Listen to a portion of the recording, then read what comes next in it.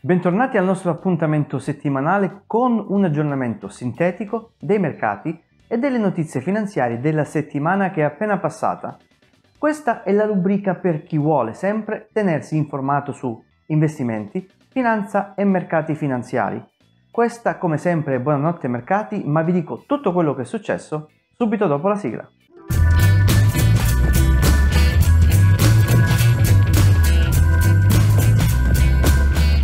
Ciao a tutti e bentornati su Io Risparmio. Io come sempre sono Pasquale, il vostro amichevole risparmiatore ed investitore della Porta Accanto. Come ogni lunedì, Buonanotte Mercati vi dà un'analisi sintetica e veloce della settimana che si è appena conclusa. Come sempre parliamo di mercati, economia, finanza e notizie importanti che possono aver impattato gli investimenti, ma soprattutto la nostra vita sociale. Ne parliamo come sempre in maniera distaccata, dando numeri e non sensazioni. Cominciamo subito.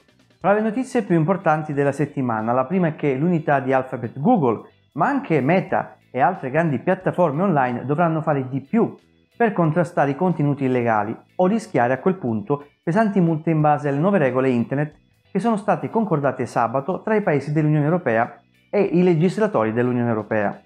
L'accordo è arrivato dopo oltre 16 ore di trattative del Digital Services Act, il DSA, è il secondo polo della strategia del capo antitrust dell'Unione Europea, Margrethe Verstager, di tenere a fermo l'unità di Google, Metal e di anche altri giganti tecnologici statunitensi.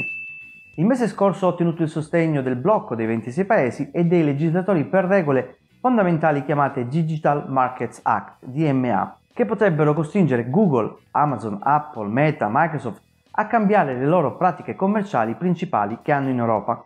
Vedremo a questo punto quali impatti ci saranno sulle aziende menzionate.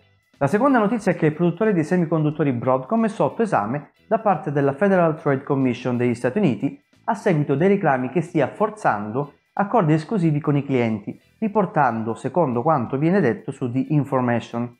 L'FTC è nelle prime fasi di raccolta di informazioni sul fatto che Broadcom, che è diventato uno dei principali fornitori di chip Wi-Fi e Bluetooth per aziende ad esempio come Apple, abbiano accordi di esclusività illegalmente, magari forzati, ai propri clienti. Broadcom sta incolpando la crisi della catena di approvvigionamento per giustificare le sue richieste da parte dei clienti, questo è quello che afferma il rapporto citando persone a conoscenza della situazione e un documento visto da The Information. La FTC ha rifiutato di commentare mentre Broadcom non ha risposto immediatamente a una richiesta di commento anche da parte dell'agenzia Reuters. Nel luglio dello scorso anno FTC ha dichiarato di aver presentato una proposta di ordine per risolvere le accuse dell'antitrust contro la società. L'ordine di consenso richiedeva a Broadcom di smettere di chiedere ai suoi clienti di acquistare componenti principalmente o solo da Broadcom. Tra l'altro Broadcom ha raggiunto un accordo simile con la Commissione europea nell'ottobre del 2020. La terza notizia è molto interessante, infatti venerdì il segretario del Tesoro degli Stati Uniti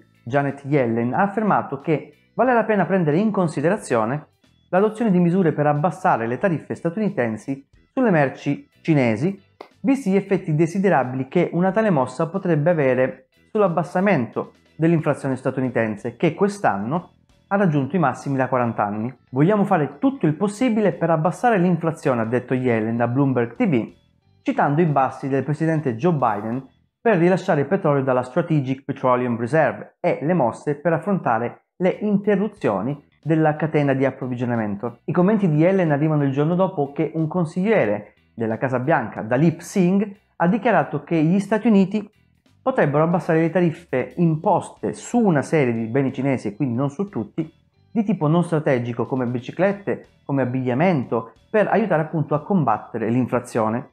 Singh, che funge da eh, vice consigliere per la sicurezza nazionale di Biden, ha affermato che le tariffe imposte dall'amministrazione Trump potrebbero sì avergli dato una leva negoziale, ma non hanno avuto alcuno scopo strategico. Abbassare tali tariffe e concentrarsi su aree più strategiche comprese le tecnologie critiche, potrebbe rappresentare una buona opportunità, è quello che ha affermato appunto SIG. Andiamo a parlare di numeri che questa settimana piombano in una delle peggiori settimane di questo anno, andando a portare le perdite complessive del 2022 a quasi un meno 7% per il Dow Jones, a un meno 10,5% per l'S&P 500 e a quasi un meno 18% per il Nasdaq, con l'indice VIX che da inizio anno ha regalato un bel più 63% circa.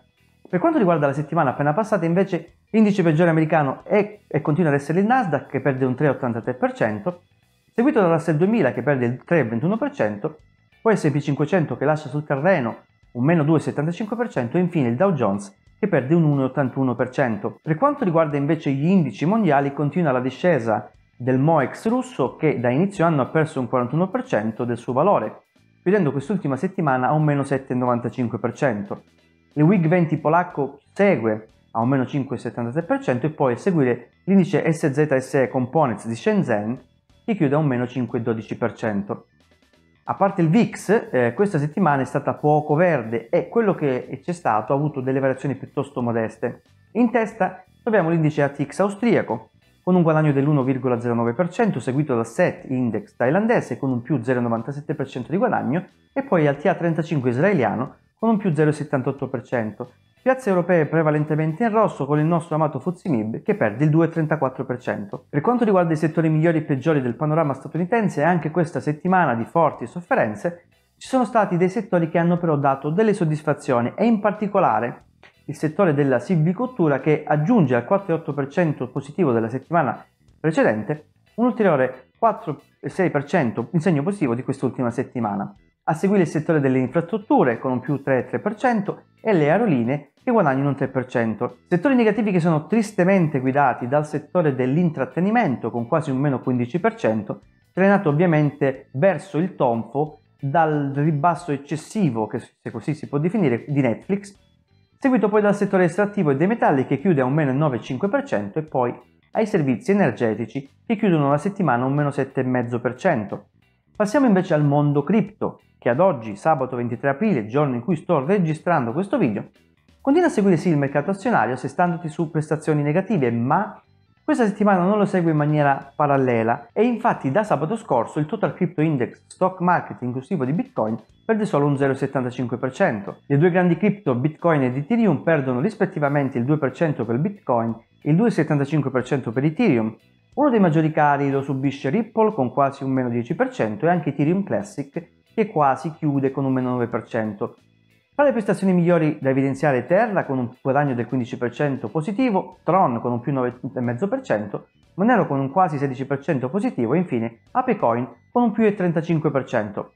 Bene, eccoci arrivati alla fine del mini aggiornamento dei mercati per la settimana che si è appena conclusa. Dove ci porterà il futuro, i mercati e i rendimenti? Non lo sappiamo, ma con questa rubrica che guarda al passato e guarda anche al presente, cerchiamo di capire cosa ci vogliono portare i mercati oggi e dove poi vogliono portarci anche domani. Spero che come sempre questo contenuto sia stato apprezzato e di gradimento, se così fosse per favore lascia un bel commento ed anche un bel pollice in su per l'algoritmo di YouTube e anche per la mia soddisfazione personale. Inoltre, se sei nuovo sul canale iscriviti e clicca la campanella delle notifiche per non perderti nessun video successivo. Buonanotte mercati torna come sempre lunedì prossimo e noi invece ci vediamo domani con un nuovissimo video. Ciao!